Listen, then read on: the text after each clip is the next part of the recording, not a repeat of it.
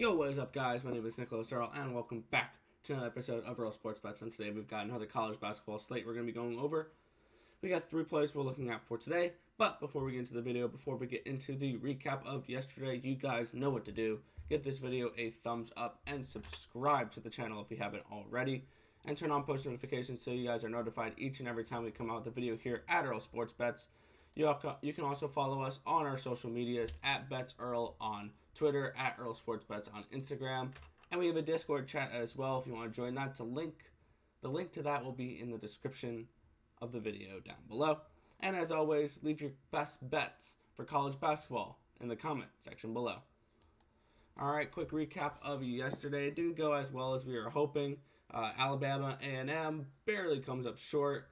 Uh, they were covering for decent chunk of that game, or no, they weren't. They were coming back, and they they almost came back and covered that spread, but uh, they fell just a, a, meaningless three short, basically, uh, and they do not cover that spread. Arizona, they looked decent in the first half, and then it, the the wheels came off the the bus for the second half. They didn't look good at all. Uh, Oregon just showed that they were they were the more dominant team and that happens. And then our only cash of the night was Ark Pine Bluff, who almost pulled off an upset at plus 465.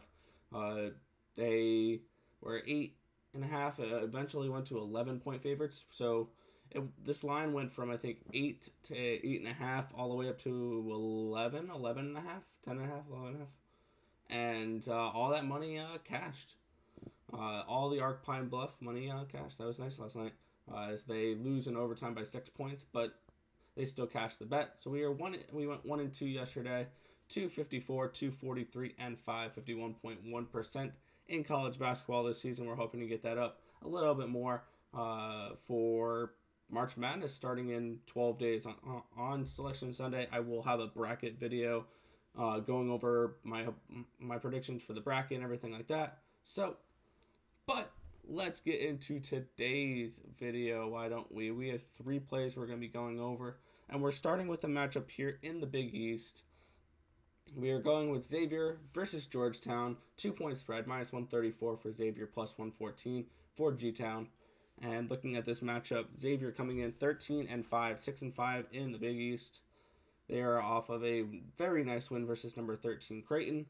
And then Georgetown coming in uh, 8 and 11, 6 and 8 in the Big East, coming off of a win versus DePaul. And we're just going to be going with the team that I think is just the overall better team in this matchup. The team that actually, like, you know, has a shot at making the bracket and playing well. It's, it's the Xavier team. This Georgetown team has proved they're very inconsistent this year. And I, I just want to go with uh, Xavier here. Minus two, I think they cover it pretty easily. My model has this as an eight and a half point game. So give me Xavier minus two versus Georgetown. Next, we head to a matchup in the Horizon League for the quarterfinal matchup between Youngstown State and Oakland. It is a three point spread, minus 152 for Oakland, plus 132 for Youngstown State. And Youngstown State coming in 15 and 11, 10 and 11 uh, in conference play this year, coming on back to back wins versus IUPUI, and then they beat UIC in the first round.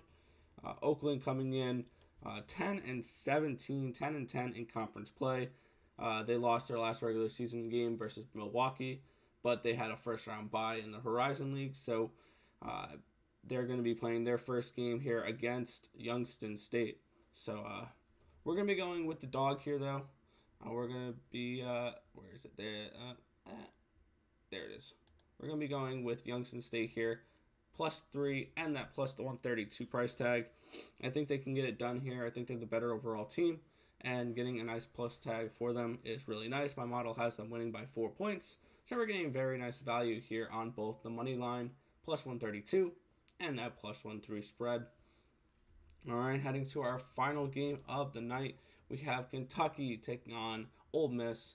Two and a half point spread, minus 140 for Ole Miss, plus 120 for Kentucky.